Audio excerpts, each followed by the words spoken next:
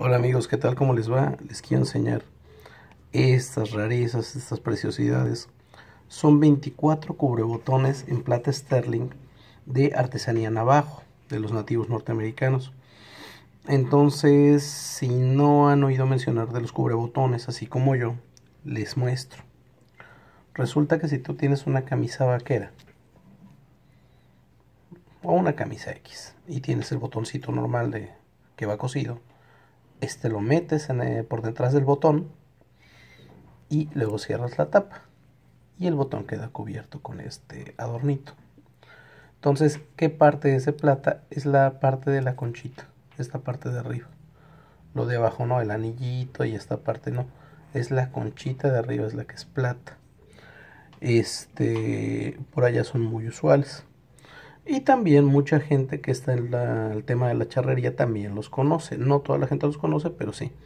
Y este, y están muy padres, están muy padres, este, no son comunes, de hecho son vintage, no se hacen ya ahorita en la actualidad. Y este, y son muy apreciados.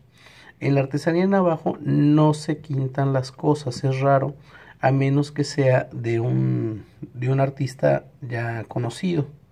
En este caso tengo estos seis que son de un artista que firma, no tengo el nombre, perdón, firma como JJ.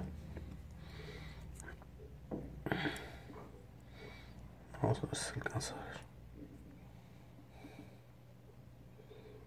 Ahí está. Sterling y firma como JJ. Pero es raro verlos este, así. Pero es plata. Ya me hicieron favor de, de calarlos este por debajo con ácido la pieza no se daña porque pues es por debajo y ahí no se ve.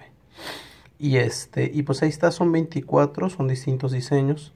Este de arriba es un oso una ollita una estrella son diseños geométricos otra estrellita y acá este son como soles no son como cinco soles. Entonces hazme cualquier pregunta al respecto estoy a tus órdenes